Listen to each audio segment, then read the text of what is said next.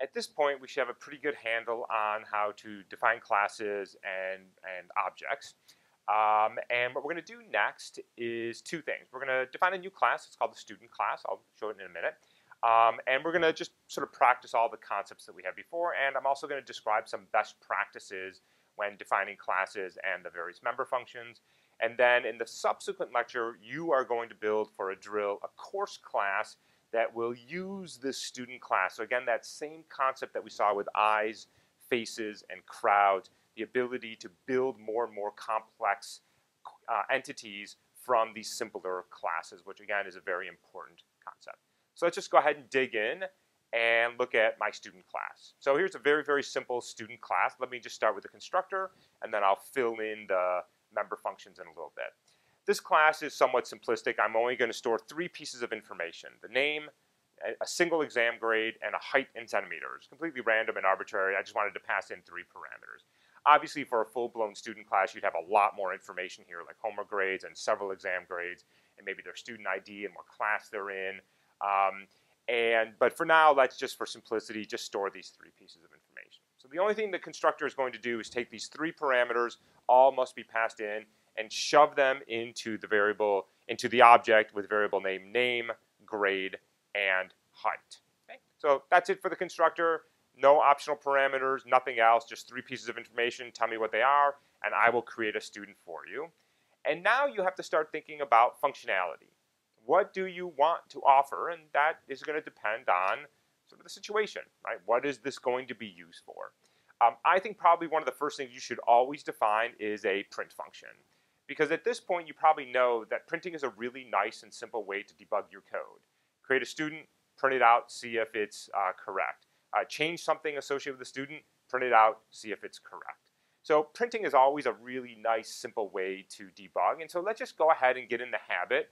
After creating our constructor, underbar, underbar, init, underbar, go ahead and just create a print statement. Um, underbar, underbar, str, underbar, underbar. So here you have some choices right? So I've got three pieces of information associated with a student. I may have more. You may decide, I don't want to print all these pieces of information. I just want some of the information, not all of it. That's a choice you're going to have to make. So in this case, what I'm going to do is I'm going to print everything because there's only three pieces of information and it's relatively easy to do. But if there's more, maybe you want to create some condensed version of the object so it's easy to view. Maybe you don't. Maybe you want to print it all out and be able to import it into a CSV file down the line. So here all I'm going to do is print out uh, an open paren to start, a closed paren to end, and then comma delimited, there's a comma right there, and there's a comma right there. I'm going to just print the name, the grade, and the height. Be really careful, by the way. Notice here that the grade is a number, the height is a number, the name is a string, so I have to make sure to convert any numbers to string when I do the string concatenation. Remember also that you're returning in the print function. You yourself in this function are not printing, you are handing back to the Python print function a string, which it will take responsibility for dumping out into the console or Jupyter Notebook cell. All right, so just as a good habit, just write a print statement, make some decisions on what you want to print out, and it can change over time. You may decide later on you want to add or remove some information. Good. So let's go through the practice of defining a, uh, uh, an object and, and doing a few things. So I'm going to call the uh, a, a, constructor for the class student. Uh, again, remember that by convention, but not necessary, objects are typically named with a capital letter. Um, I need to pass in three values, a name, an exam grade, and a height in centimeters. So Alice 92 160 go into the constructor. Constructor builds an object. It hands back me that address. I'm going to store that into little a there.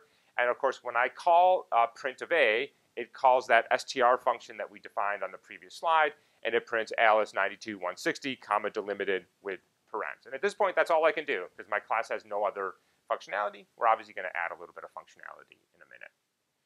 Now, I might want to, instead of just printing out the entire object, I may want to ask, I'm curious about Alice's height or Alice's grade. And so when I say A equals student, A is an object, and I have access to the data, the height, the grade, and the name and I have access to all the member functions. Right now it's only print, but we'll add a few bit more, a few more. So I can certainly say, hand me back the height of object A or the grade of object A. This is generally considered bad form. Right, this is why I say here in the comment, don't do this.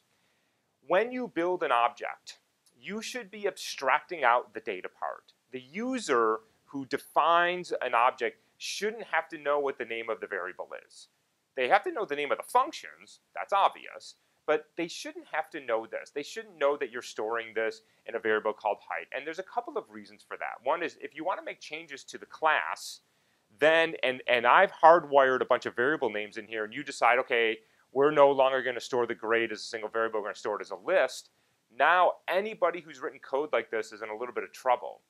Whereas if you force them to get access to it through a function, I'm going to show you that in a minute, you can then make changes to your data, make changes to your function, and nothing changes out here. So because code is not static, because code is always changing, you add things, you remove things, you modify things, you don't want people who use your class to have to hardwire uh, information like this. It's a bad form. And as a general rule, you, you, the user shouldn't have access to those data fields. They have access to the functionality. Now, you can't prevent them from doing this, but you should give them the functionality to access the data. And that is done with what are called accessor functions. So this is my class student, here's my constructor, here's my print statement, and I've written here, you can see three functions. Get name, get grade, get height. That, of course, corresponds to the name, grade, and height that are being stored as data. And notice these are incredibly simple functions. Uh, single parameter, self, the address of the object that you're being called with, and then simply return the object's name, the object's grade, the object's height. And notice the difference here. These, these seem like trivial functions. They are. But now imagine I make a change to something simple like the name of the variable. I change the name here. That can stay the same, and everything works. Anybody who has built their code on my class, they have no impact. Or let's say I decide to, to change grade because I'm going to store multiple grades. I can then simply change this one line of code, and this continues to work, and I can add some more functionality below. And so then this little bit of code here, so I'm going to define an object here, same as before, this bit of code then gets turned into this bit of code. And it's more or less the same, but what's the difference? Here I'm calling a function, here I'm directly accessing the little data element. And this is considered better form. Um, some programming languages, Java for example, you can write classes where this is simply not allowed. You can't tap into the data. Everything has to be done through these types of accessor functions.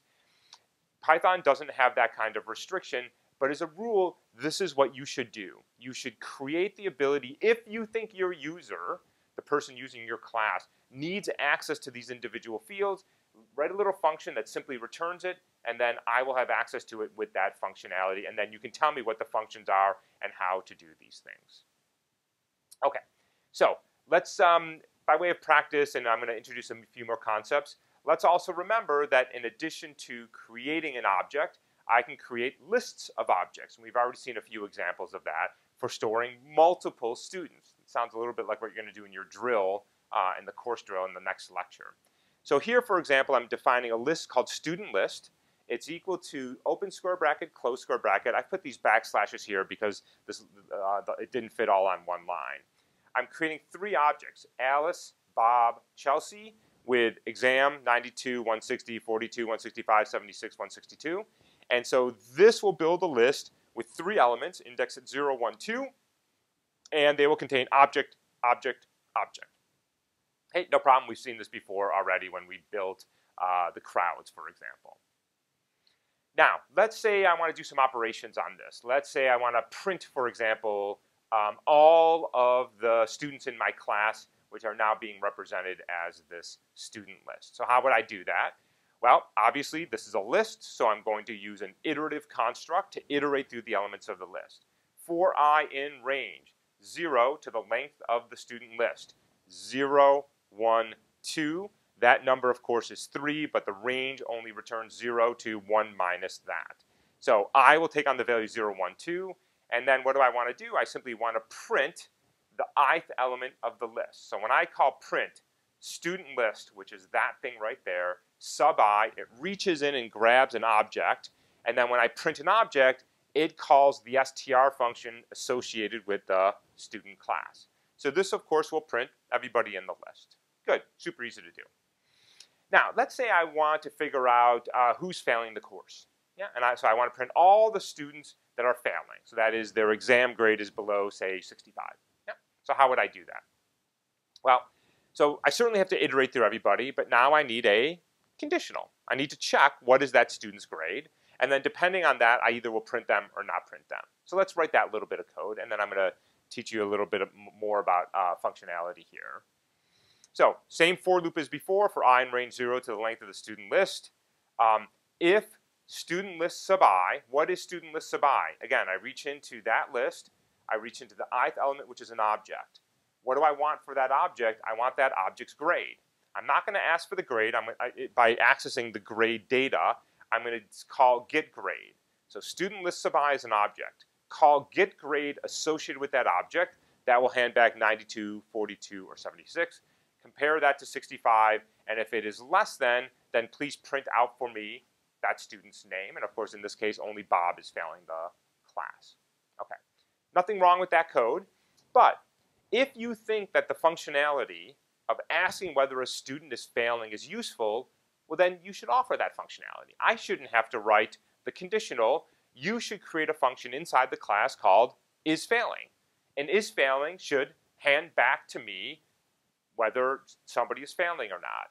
So this is a really subtle difference, but notice what I'm doing here. It's what I did with the accessor functions.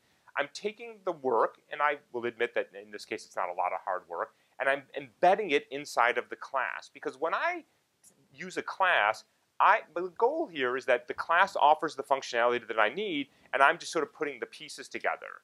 I shouldn't have to write that conditional. You should have to write the conditional. You should tell me what failing is. I shouldn't Eh, decide what failing is, you should. So let's go ahead and write that function in is failing. Well, in this case, it's a one-line function.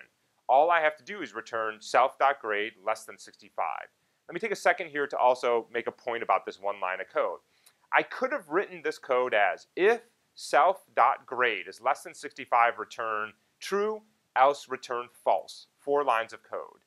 But notice that what I'm returning is what evaluated to in the conditional. And so this is just, we've done this, I've said this before and I want to just re-emphasize it.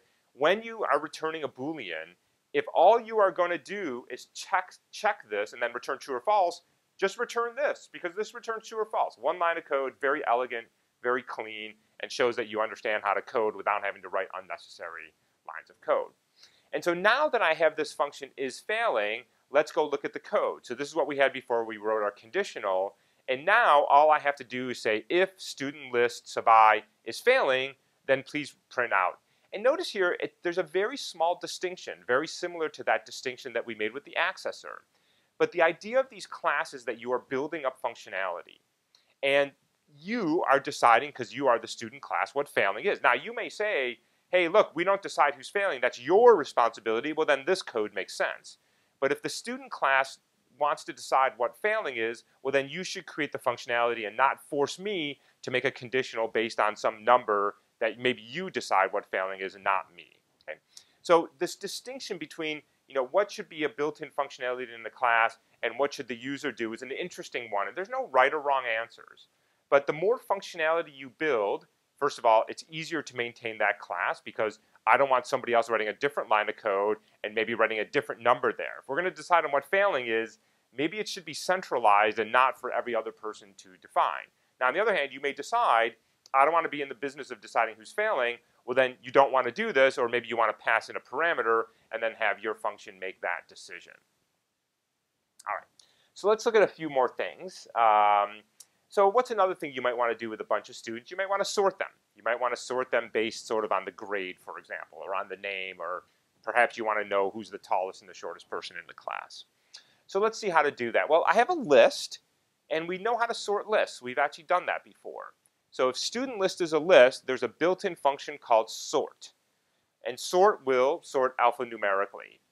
But something's a little weird here because how does sort know what to sort on? Those are objects, right? They're not, they're not strings, they're not numbers, they're not floats.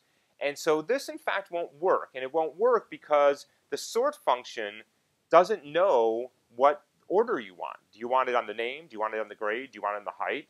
Um, and, and these are just objects. It's, it's not a, it's, there's, there's no natural ordering here. And so you can't just do this, but this is the good, that's the bad news. The good news is Python gives you some nice functionality, um, which is that you can define a function called, and this is outside of, notice, the class. So I'm going to call this function keyGrade. It takes as input an object called, I'm going to call it student. And in my case, I'm going to return that student's grade. I'm going to decide that when I sort this function, which I'm going to show you how to do in a second, I want to sort on the grade. I may decide on a different key that I want to sort on. So this is why I called it key grade. I may have another one that says key name, and it returns the name of the student. So all this function does is it takes an object as input, and it returns some property of the object. Okay? Now, that property has to be something that is indexable, sort of, sortable on. So in this case, of course, it is because it's just a number. And now, the way you call sort is very similar, but you have to tell it what you want to sort on. So student list is the list. Sort is the same that we had before, but in parentheses here now, you have to tell me what do you want to sort on. So key equals, that's the keyword that you have to use, and then the name of the function. My function I just called key grade. It will then use this function for every object, extract the grade. Of course, all of this is being done behind the scenes. And then when you uh, print, it will print in increasing order of the grade, 42, 76, uh, 92. Okay? So you just have to tell when you want to sort on objects, what part of the object do you want to sort on, write a little function to do that, pass it to the sort function, and it will do the hard work for you. Okay, good. So a couple of things we did here. One was just review. We, we built another uh, um, object, another class rather, constructor, a couple of accessor functions A couple of best practices, write those little functions that access the data field so that users aren't tapping directly into them. And think about functionality. Think about what you want in that class and because the more you give, the easier it is for the developer, for the programmer to use it. You know, what's the right answer? How much is too much? How much is too little? That's, that's a bit of the art of programming that you will learn over time as you build these classes and you see what other people do. All right, that's it for now. When we come back, I'm going to have you do a drill, uh, which is to build a course class using the student class and then building some functionality into that. So I'll see you in a few minutes and we'll come back to that.